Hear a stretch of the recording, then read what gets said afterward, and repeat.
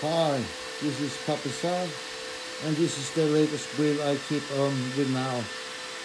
It contains 12,900K, Asus 3070 gigabyte Z690 Pro, G.Skill 6400, Corsair HX 1500i and the chassis is uh, MZ XT K7 Flow.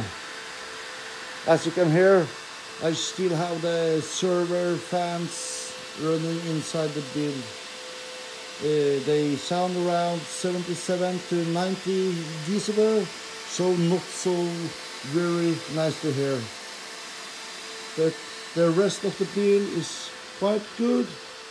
So here it is.